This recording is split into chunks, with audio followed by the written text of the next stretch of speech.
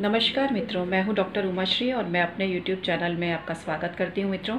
उम्मीद करती हूँ आप प्रसन्न और स्वस्थ होंगे। परमात्मा से सदैव ये कामना करती हूँ कि आपके जीवन में मांगलिकता बनी रहे, शुभता बनी रहे। आपके बिगड़े हुए काम परमात्मा सहज ही बनाए और आप किसी भी प्रकार की परेशानी से उद्वेलित ना हो। परेशानी आपके पास फटके तक नहीं। यही मेरी शुभकामना आपके लिए हमेशा रहती है और दिवाली की आप लोग ज़ोर शोर से तैयारी कर रहे हैं, लेकिन इसमें कुछ छोटी छोटी बातें हैं जो आपको नहीं मालूम होती हैं। और वो बातें जीवन में कई बार धन की इतनी ज़बरदस्त कमी पैदा कर देती हैं, घर में आर्थिक अभाव उत्पन्न हो जाता है। तो ये स्थिति आपके जीवन में बिल्कुल उत्पन्न ना हो। इससे बचने के लिए मैं आपको कुछ ऐसे उपाय बता रही हूँ जिनको अपनाकर आप जीवन में इन संकटों से मुक्त हो सकते हैं। तो आइए वीडियो शुरू करते हैं।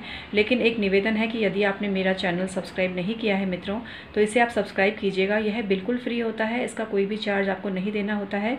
इसके अलावा आप मुझसे ज्योतिषीय परामर्श भी ले सकते हैं। मैं बीस वर्ष से ज्योतिष कर रही हूँ, सिखा रही हूँ, कुंडली देख रही हूँ, वास्तु देख रही हूँ। और रिसर्च का काम ऐसा होता है कि निरंतर चलता रहता है। रोज़ हर दिन हम कुछ ना कुछ नया सीखते हैं।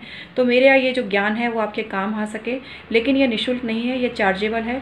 डिस्क्रिप्शन में जाके आप ईमेल आईडी चेक कीजिए, उसके थ्रू आप अपना भविष्य जान सकते हैं। कुंडली वगैरह हम बनाकर डिटेल में उसका स्टडी करके आपको रेमेडीज़ बताते हैं, जिससे कि आप किसी भी प्रकार के संकट से बच सकें। कोई भी दुर्घटना या कोई भी बुरा वक्त आने से पहले ही आप उसके उपाय कर लें, जिससे कि आपको किसी प्रकार की दिक्कत नहीं भुगतनी पड़े। आइए आज का वीडियो शुरू करते हैं। आज मैं आपको बताने जा रही हूँ कि किस तरह से आप अपने जीवन में कुछ ऐसे छोटे छोटे उपाय करें जिससे कि धन वृद्धि हो सके, गरीबी का खात्मा हो सके। इसके लिए छोटी सी एक उदाहरण दे रही हूँ आपको, जैसे कि झाड़ू।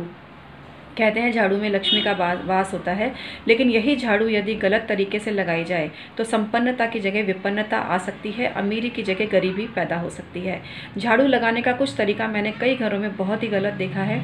झाड़ू से, जब आप घर में लगाए, लगाते हैं, चाहे बाई लगाए, चाहे आप स्वयं लगाएँ, कोई भी लगाए, लेकिन जब झाड़ू लगाते हैं तो सभी कमरों का कचरा मेन गेट से, मेन गेट से मतलब मेन गेट से मतलब है कि आपके घर की एंट्री का द्वार नहीं, जो आपके कमरे का जो द्वार है, जो मतलब आपके आपके भवन का द्वार है उस द्वार से कचरा बाहर आना चाहिए। लेकिन कई घरों में हम ऐसा देखते हैं कि बाइयाँ बाहर से झाड़ू का जो फ्लो है मतलब झाड़ू चलाने का जो फ्लो है, वो बाहर से अंदर की तरफ़ करती हैं। ये इस बात का प्रतीक है कि बाहर की दरिद्रता आपके घर के भीतर प्रवेश कर रही है। तो घर का कचरा हमेशा घर के बाहर निकलना चाहिए, इस चीज़ का आप ज़रूर ध्यान रखें। इसके अलावा संध्या समय पर झाड़ू नहीं लगानी चाहिए। झाड़ू ज़्यादा से ज़्यादा चार बजे से पहले लगा लें, दोबारा अगर आप झाड़ू लगाते हैं तो। घर में तीन बार से अधिक झाड़ू नहीं लगानी चाहिए चाहिए। हाँ अगर आपका व्यवसायिक स्थल है और जहाँ पर बार बार आपको लगता है कि झाड़ू लगाने की ज़रूरत पड़ती है, लोग जूते चप्पल लेकर ज़्यादा आते हैं तो अलग बात है। लेकिन घर में तीन बार से अधिक झाड़ू नहीं लगानी चाहिए, इस बात का आप ध्यान रखें। इसके अलावा रात्रि को भी झाड़ू नहीं लगानी चाहिए, लेकिन क्योंकि अभी दिवाली के दिन चल रहे हैं और सफ़ाई हो रही है तो ये बात अभी लागू नहीं होती है। अन्य दिनों की हम बात करते हैं तो जहाँ तक हो, रात को झाड़ू नहीं लगानी चाहिए।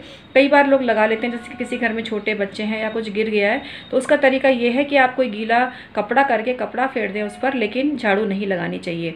इसके अलावा झाड़ू गीली नहीं होनी चाहिए। झाड़ू से जब आप कचरा बाहर की तरफ़ निकालते हैं तो उस कचरे को कई बार मैंने देखा है, डस्ट पैन में भरकर बाइयाँ वापस घर के अंदर ले जाती हैं। कई बार किचन में डस्टबिन होता है या कहीं और डस्टबिन होता है तो उसमें डाल देती हैं। ये आपको नहीं करना है, घर का जब कचरा बाहर निकल गया तो फिर वो पुनः वापस अंदर नहीं जाना चाहिए। इस चीज़ का आप ध्यान रखें। इसके अलावा कई घरों में हमने देखा है कि ये टोटका अक्सर करते हैं लोग कि अपने घर के बुझे हुए दियों की जो बत्तियाँ होती हैं या बुझे हुए अगरबत्ती होती है या धूप दीप होती है, वो दूसरों के पार्किंग में, घरों में डाल देते हैं। अगर आपके घर में भी आपका पड़ोसी करता है ऐसा या कोई और फ्लैट में रहने वाले दूसरे लोग करते हैं तो आप उस पर पानी डाल दें और पानी डालकर उसको हटवा दें। जहाँ तक हो सके अगर आपको ध्यान में आ गई है कि कौन व्यक्ति डाल रहा है तो उसको मना करें कि वो ऐसा ना करे। दूसरे के घर के बुझे हुए दीपकों की बत्ती और जो दूसरा पूजा का यूज़ किया हुआ सामान जब आपके घर में आता है तो उनके घर की नकारात्मकता आपके ऊपर आकर गिर सकती है। तो इस चीज़ का आपको बिल्कुल ध्यान रखना है। इसके अलावा घर के जो कोने होते हैं उनमें भी परमात्मा का वास होता है। स्पेशली जिस घर में कोने खराब रहते हैं, उस घर में केतु संबंधी प्रॉब्लम्स बहुत आती है।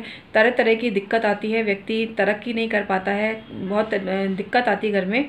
इससे बचने के लिए कोनों की रेगुलर विशेष सफ़ाई किया करें। अन्य दिनों की बात कर रही हूँ, दिवाली पे तो हर कोई करता है, लेकिन उसके अलावा कई बार कोने उपेक्षित रहते हैं तो घर के कोनों की हमेशा सफ़ाई करें। इसके अलावा घर की जो टूटी फूटी चीज़ें हैं, वो बिल्कुल निकाल दें दिवाली पर। ऐसा ना सोचें कि इस चीज़ का फूलदान बन सकता है, इस बोतल का पैन स्टैंड बन सकता है। ये सब नकारात्मक शार्स पैदा करने वाली चीज़ें हैं। जैसे कि सृष्टि का क्रम है कि जो चीज़ समाप्त तो प्राय हो हो चुकी होती है, उसको निकाला जाता है, उसको रखा नहीं जाता घर के अंदर। तो हर सजीव, निर्जीव वस्तु की एक निश्चित आयु होती है। उसके बाद वो निष्क्रिय हो जाती है। तो उन चीज़ों का यूज़ करना बिल्कुल वैसा ही है कि कोई डेड बॉडी को घर में रखना। तो ये ये शब्द हो सकता है आपको अलग लगे, बुरा लगे, उसके लिए क्षमा चाहूँगी, लेकिन यथार्थ यही है कि जब कोई चीज़ परमात्मा ने नष्ट कर दी है तो उसको आप जोड़ तोड़ के घर में रख रहे हो। तो ये आप बहुत ही नेगेटिव बहुत ही नेगेटिव प्रक्रिया है, जो कि मेरी दृष्टि में बहुत गलत है। बाकी अगर आपको सही लगता है तो आप बिल्कुल, जो आपको सही लगता है, करिए। लेकिन मैंने जो अपने ज्योतिषीय अध्ययन की दृष्टि से आपको जो बात बताई है, वो यही है कि कोई भी खंडित चीज़ घर में नहीं होनी चाहिए, निष्क्रिय चीज़ घर में नहीं होनी चाहिए। अगर आपकी घड़ी बंद है तो उसको तुरंत हटा दीजिए, चाहे कितनी भी है उसको फेंक डालिए। आप ये सब करके देखना और फिर देखना समृद्धि के, उन्नति के, बरकत के कितने अवसर मौके आपकी ज़िंदगी में आते हैं। तो इस तरह की चीज़ें बिल्कुल भी घर में नहीं रखनी चाहिए, नकारात्मकता पैदा करती हैं सब चीज़ें। इसके अलावा अपनी कोई भी चीज़ पुरानी जब आप किसी को देते हैं तो उसका और कट करके भेजें। कुछ भाई बहन पूछते हैं, और कट करना क्या होता है कि हमारे वस्त्र हमारी चीज़ों में हमारी आत्मा वास करती है? कुल मिला के सामान्य भाषा में आपको बोलूँ तो। तो हम अपनी आत्मा को दूसरों को कैसे दे सकते हैं? तो एक छोटा सा कट लगाने से वो उससे मुक्त हो जाती है चीज़ें। और फिर हमारी जो चीज़ें हैं, हमारी जो एनर्जी है, वो दूसरे तक नहीं पहुँचती है। हमारी एनर्जी हमारे ही पास रहती है। क्योंकि हमारी एनर्जी हमारे ही पास रहनी चाहिए। अगर वो बंट गई, दूसरों के पास चली गई तो हमारी अपनी एनर्जी कम हो जाएगी। यही कारण है कि इन सब चीज़ों से बचने के उपाय बताए जाते हैं। इसके अलावा मेरे अन्य वीडियो भी देखना, जिसमें कि मैं इंटीरियर के कुछ ऐसे सुझाव दूँगी, जो दिवाली पर यदि आप करते हैं तो इससे आपको बहुत ज़्यादा लाभ होगा। मित्रों और दिवाली पे एक चीज़ ध्यान रखना, सामान्य पूजा से कुछ फ़र्क नहीं पड़ता है। सामान्य पूजा तो हर कोई करता है।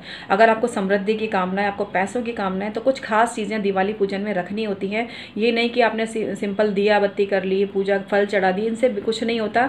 हालाँकि आपकी भक्ति भावना प्रमुख है और भक्ति भावना प्रमुख है तो ये चीज़ें भी वर्क करती हैं, लेकिन हर चीज़ का अपना रोल होता है कि अगर हम सिर्फ़ ये कल्पना कर लें कि हमारा मुँह मीठा हो रहा है तो मिठाई तो हमारे मुँह में नहीं आ जाएगी ना, हमको मिठाई खानी ही पड़ेगी ना, तभी उसकी अनुभूति हम कर सकते हैं। तो वही चीज़ है कि जो समृद्धि बढ़ाने वाली चीज़ें हैं, अगर आपने वहाँ नहीं रखी पूजा में, दिवाली की पूजा में तो समृद्धि कैसे मिलेगी? माँ लक्ष्मी की प्रिय चीज़ें आपको रखनी होंगी और उसके, वो जानकारी मैं बहुत शीघ्र अन्य वीडियो में दूँगी तो मेरे चैनल को सब्सक्राइब कीजिएगा मित्रों। बहुत बहुत धन्यवाद।